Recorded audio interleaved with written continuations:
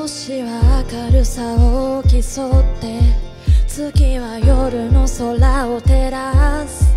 真暗な布に覆われて今だけは全て忘れよう。声さえも出なくなるくらい広がった光の砂に少しだけでいい話をしようか。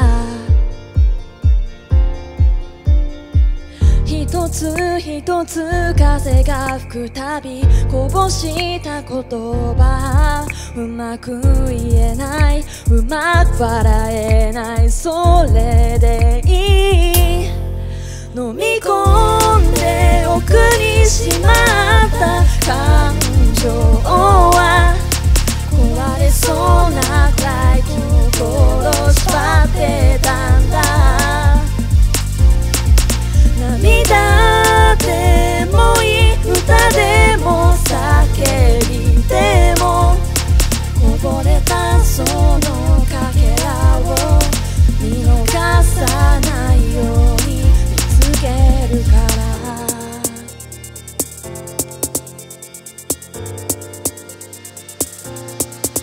静かに火は光り放ってまだ誰も目を覚まさない。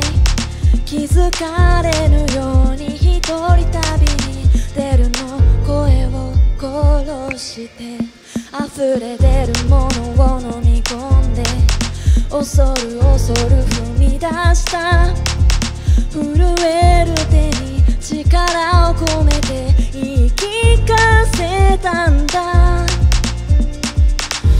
つ一つ雨が落ちて気づいた言葉うまく言えない言いたいんだそれでいい。塞ぎ込んで聞こえなくしていたその音は泣きそうな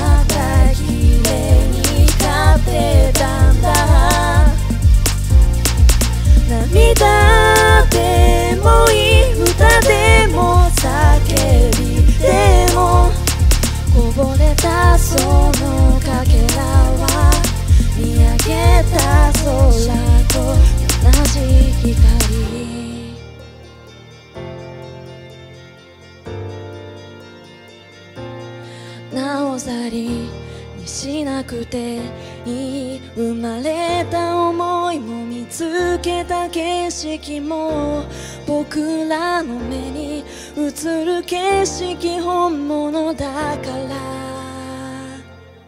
塞ぎ込んで聞こえなくしていたその